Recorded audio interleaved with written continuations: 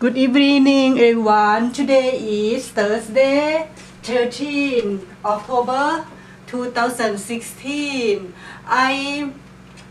I read news from YouTube about Thai king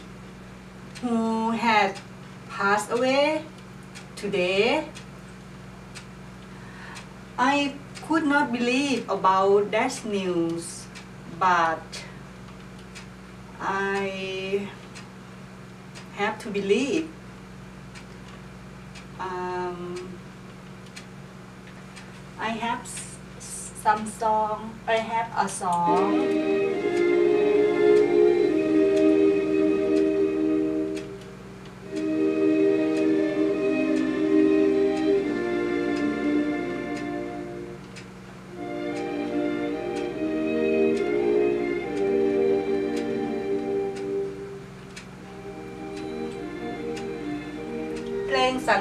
รเสริญพระบารมี สวัสดีค่ะเพื่อนๆ สวัสดีถึงประเทศไทยด้วยนะคะคุณแหม่มได้ยินข่าว ได้อ่านข่าวจาก YouTube เกี่ยวกับการเสียชีวิตของพระบาทสมเด็จพระเจ้าอยู่หัว คุณแหม่มก็ไม่ค่อยจะเชื่อแต่ก็ต้องยอมรับความจริงนะคะ ก็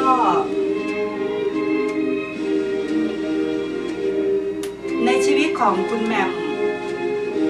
ที่เป็นเด็กไทย คุณแหม่มได้ยิน หญิงไทย ผู้ชายไทย เขียนด่าในหลวง เขียนตำหนิในหลวงอ่า ประนามในหลวง ทั้งทั้งๆที่ในระหว่างที่ในหลวงท่านประชวรและมีอายุมากแล้ว คุณแหม่ไม่ทราบว่าเขามีปมด้อยอะไร มีความกดแค้นเรื่องอะไร รากเหง้า ความขมขื่นของเขาที่ทำอย่างนั้นกับในหลวง มาจากไหนคุณแหม่มไม่ทราบ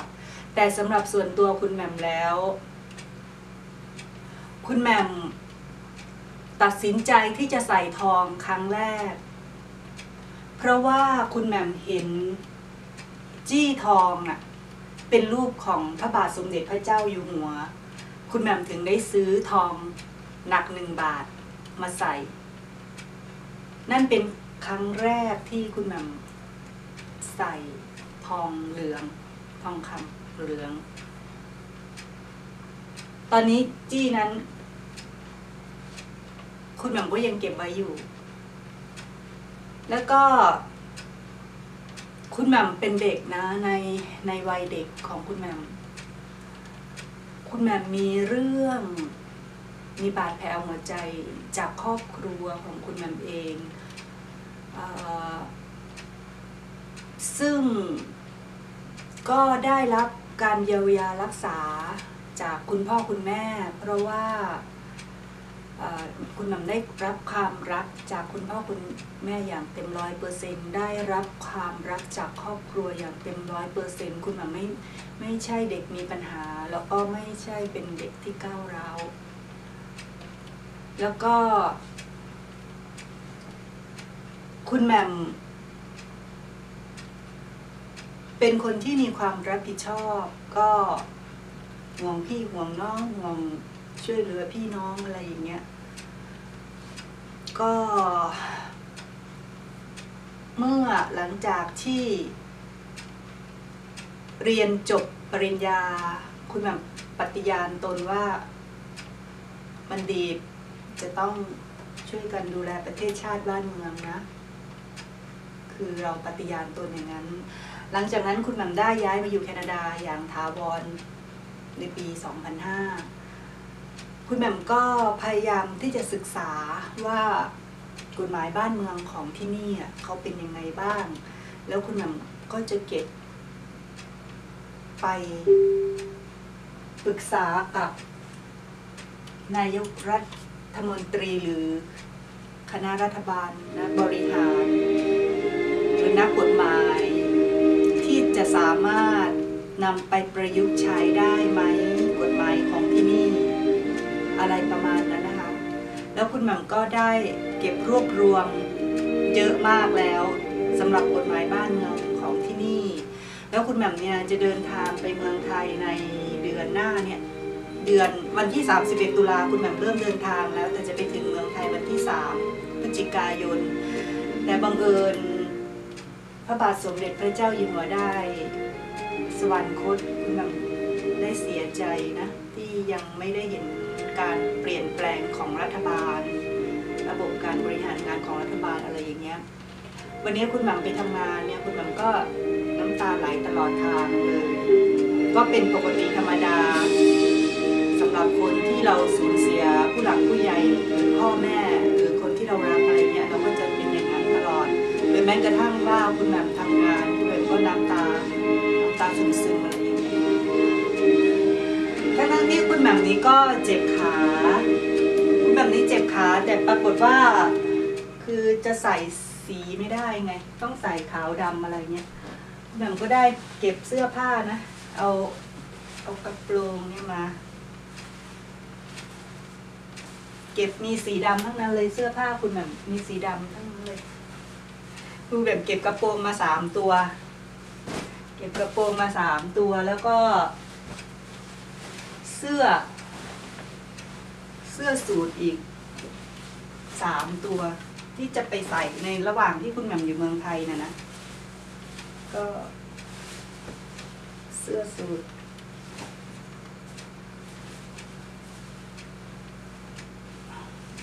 ที่จะไปใส่ในเมืองไทย แล้วก็มีกางเกง มีกางเกงด้วย เอากางเกงไปด้วย นี่คือคุณแหม่มคุณแหม่มเปลี่ยนนะ คุณแหม่มปกติแล้วกระเป๋าเสื้อผ้าคุณแหม่มแพ็คนะจะเป็นชุดกีฬาทั้งนั้นเลย ไม่ไม่มีพวกนี้ แต่ว่า คุณแหม่มทราบจากนายกรัฐมนตรีนะไว้ทุกหนึ่งปีนะแล้วคุณแหม่มก็ต้องใส่สีดำก็เสื้อสีขาวสขาวดำทั้งนั้นเลย แล้วคุณแหม่มมีผ้าพันคอ แต่ว่าเป็นสีเขียว จะทำให้อุ่นขึ้นก็มีเสื้อแจ็คเก็ตที่ใส่ ตอนกลับมาเนี่ยค่ะกลับอากาศน่าจะเย็นเกือบเดือนธันวาแล้วนะอากาศน่าจะเย็นคุณหม่ำเอาเสื้อแจ็คเก็ตไปด้วย ใส่คลุมเนี่ยค่ะ คุณหม่ำต้องแพ็คกระเป๋าใหม่หมดเลยนะแพ็คกระเป๋าใหม่หมดเลยต้องเอาเสื้อผ้า เนี่ย สีเนี่ยดำขาวเอา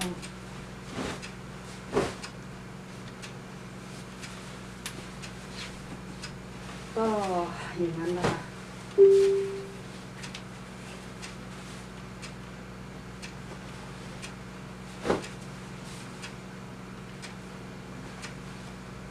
คุณหม่ำจะเข้าพบนายกรัฐมนตรี งินแคนาดานะยี่สิบดอลก็บังเอิญติดอยู่ในกระเป๋าเสื้อก็เลยเอาออกมา ก็อย่างนั้นแหละค่ะ เพราะว่าจะพูดอะไรอีกนะ คุณแหม่มใส่ชุดนอนเพราะว่ามันเป็นเวลากลางคืนแล้วเนี่ยสองทุ่มสิบนาทีแล้ว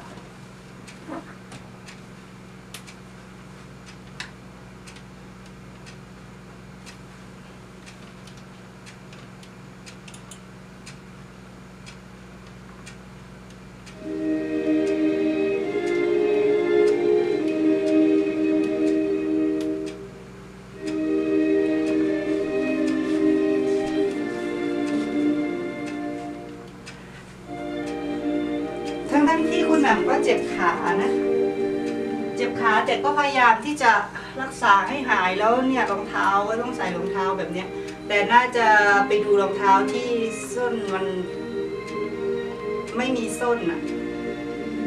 จะได้เดินสบายหน่อย มีส้นยังสูงอยู่ทำให้เดินช้า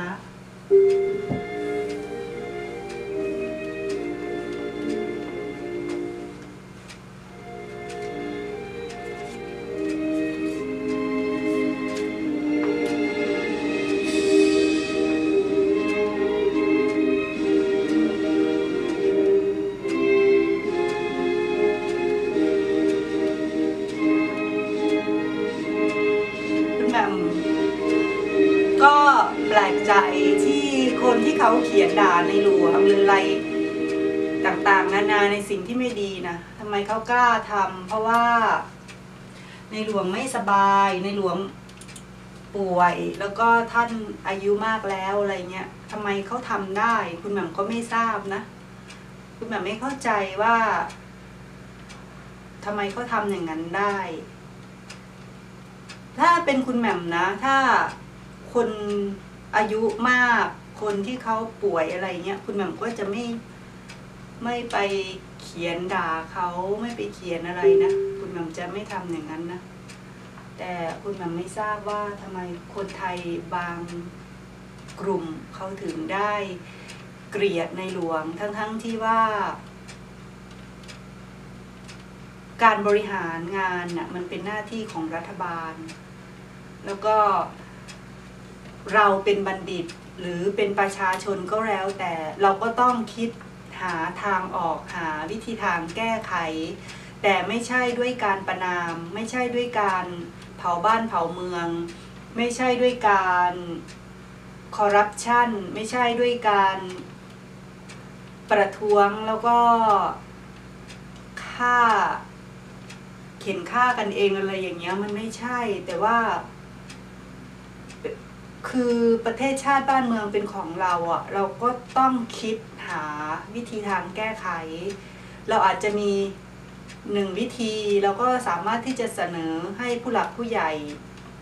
รับทราบ หรือเรามีสอง